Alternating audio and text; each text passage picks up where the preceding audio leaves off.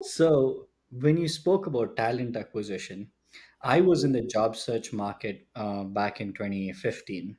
Um, uh, sorry, 2017. And I used to pump out resume like 100, 120 resumes every single day.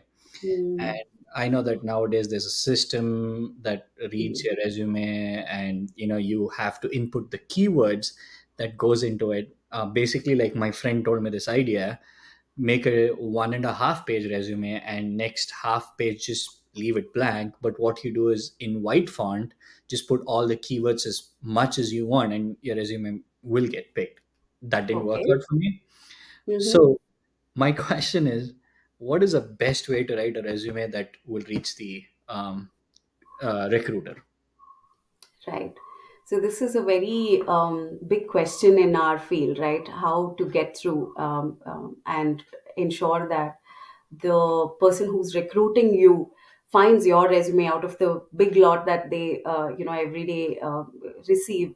How is it uh, that you can make ensure that you know your resume stands out? This is a very important and uh, uh, something that can, as candidates, people have to really put conscious efforts into this. This should not be just something that's written on the CV, something you just shoot in the dark to various companies. Uh, you know, today everything is just a click of a button. So, you know, you're searching jobs, there's just apply now option. You just keep clicking on that to just get through to somebody. You know, you just want somebody to look into your profile and hire you but that's not the right way. This is what adds to um, you know a huge list of um, uh, cvs uh, sitting uh, coming to the uh, recruiter's email box right? So this is something one um, as a candidate i would not recommend. Rather uh, firstly to answer to your point on um, how to write a resume the resume should be as crisp and to the point as much as possible see nobody wants to know about how um, you know what you do in your job.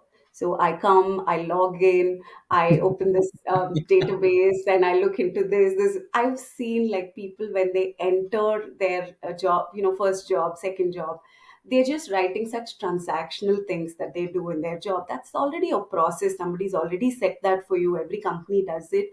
And you're writing the same thing so what's where is you in that? What is so unique that you are doing there? So it's more about the how. How is it that you are doing your job? That's what makes you stand out. That's what's you as an individual and um, you can make that more uh, personal uh, to the person who's you know reading your resume.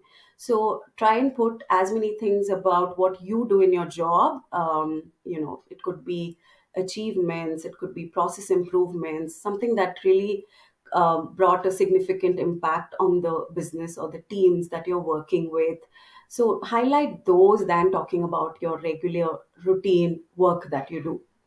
So this is definitely a big uh, thing, and this can also make your CV crisp, right? You can just uh, talk about two, three companies you have worked on and what all you've done here that that really stands out.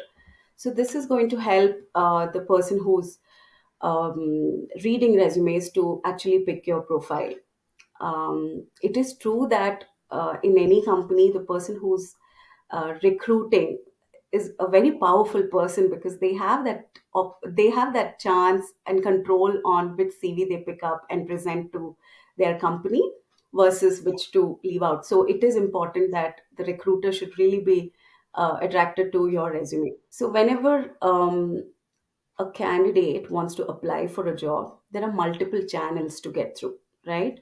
So there is the emailing option, you know, find out the email ID of the of either HR or any employee in the company, send out your resume. And then there is the career page of the companies. And then there are also employee referrals within organization.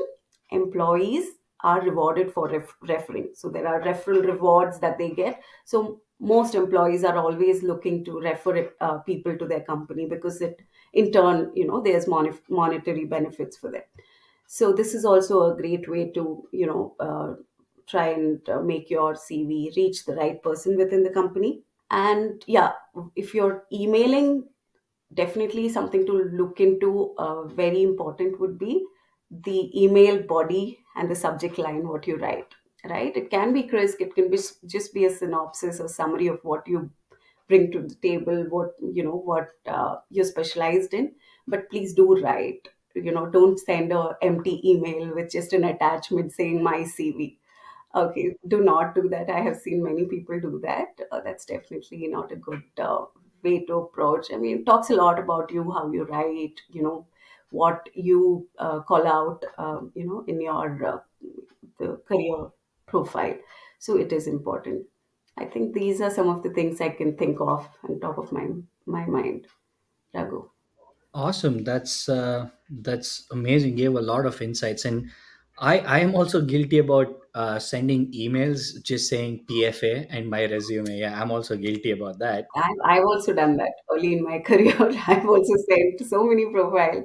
Now I know how, how it feels. Of course, like I, I have now enough experience. I don't personally look into profiles. I have my um, juniors who you know do all the screening and uh, they do majority of the you know headache job but uh, yeah early in my recruiting uh, you know career i've seen this a lot